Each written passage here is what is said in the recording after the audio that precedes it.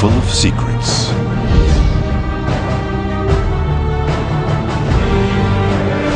There is one with hidden powers.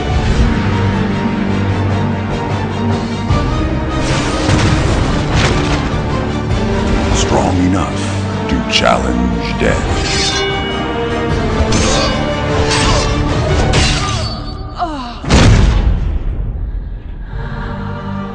Which path will you take?